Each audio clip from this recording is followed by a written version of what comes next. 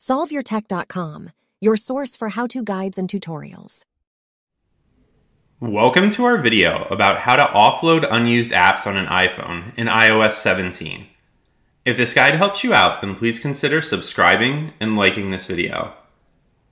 If you find that your iPhone home screen is a little too cluttered with apps that you aren't using, or if you're constantly running low on storage space, then there's a setting on your iPhone that can help.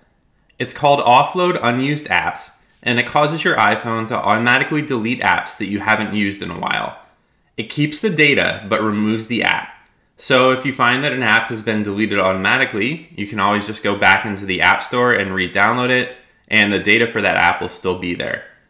You can turn on the Offload Unused Apps option by opening the Settings app, scrolling down, and selecting the App Store option, and then you can scroll down again and find the Offload Unused Apps option. You just need to tap the button to the right of that to enable it, and now your iPhone is going to automatically start removing apps that you haven't used in a while.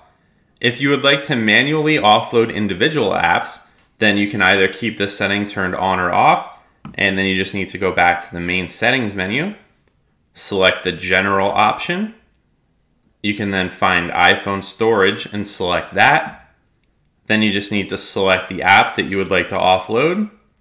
And then you can tap the offload app option here, followed by offload app again to confirm that this deletes the app but keeps its documents and data on your phone. Make sure to like this video and subscribe to our channel to see more tech guides like this one. For additional information on this topic and to read the entire article, click the link in the description to visit solveyourtech.com.